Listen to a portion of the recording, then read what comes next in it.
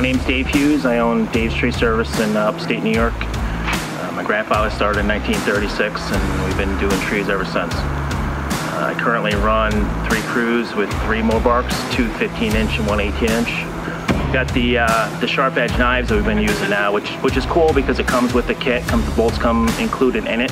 Um, my biggest problem is like with maintenance, I try to get my guys to switch the bolts every time. Uh, unfortunately, the more machines you got, the more things you have running, things get crazy. You end up with bolts, no blades, and you have blades, no bolts.